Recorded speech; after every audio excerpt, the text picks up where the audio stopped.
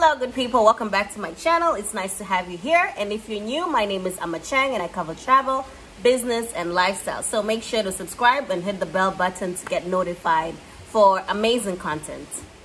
So for starters, I am not a doctor, nor do I work in the medical field. I am simply a curious traveler who's trying to be safe and trying to let you, my subscribers, and anybody who's watching this video to be safe as well. So unless you've been living in a cave or outer space, but wait, even aliens are shading us right now. Um, you must be aware of the highly infectious corona disease, aka COVID-19. As much as I'm not a medical expert, I can assure you it is a very infectious, highly infectious disease. And we all need to be very careful and stay safe, not only for ourselves, but people around us as well.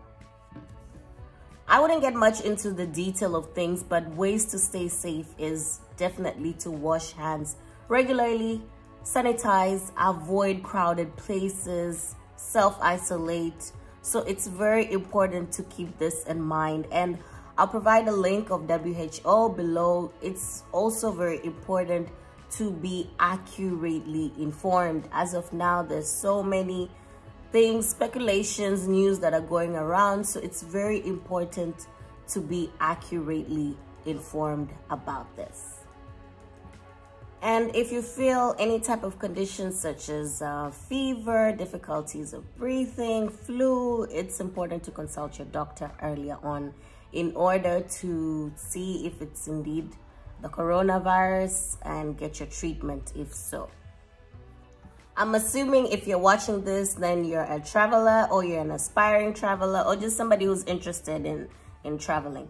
Now, I didn't think the day would come where I would advise this, but if you're planning to travel during this time, don't.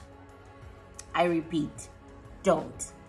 Unless it's very necessary. And the reason I say this because it's not only risky for yourself, but it's definitely risky for people around you. But then again, if it's really necessary for you to travel at this time with what's going on, it's important to understand that there's so much uncertainty around the situation, which is affecting different sectors such as the airline, hotels. It's very important to look into things before you travel, not only your health, but also the country that you're going. For example, today Emirates have suspended the passenger flights. So they'll only be proceeding with cargo flights till when the situation is a little bit more safer.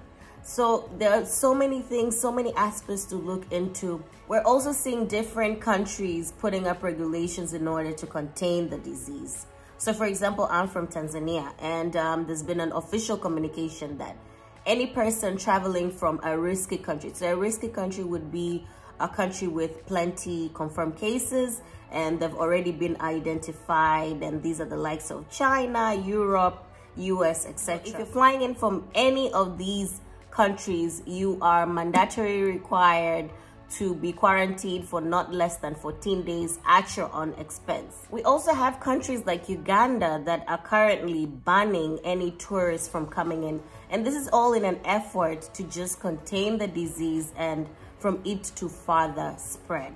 And I think me and you should definitely um, be supportive of this effort of different countries in order to get past this crisis. So what's next for the traveler? I seriously don't know and I don't think anybody would because there is no cure as of now. But I urgently request you to definitely stay safe, not only for yourself, but for everybody around you. Let's avoid crowded places. Let's wash our hands. Let's keep on praying and hoping, and let's just keep on packing that bag for the time when there'll be a better day for us. Thank you for tuning in. The show must go on despite everything that's happening. And see you all next time. Bye.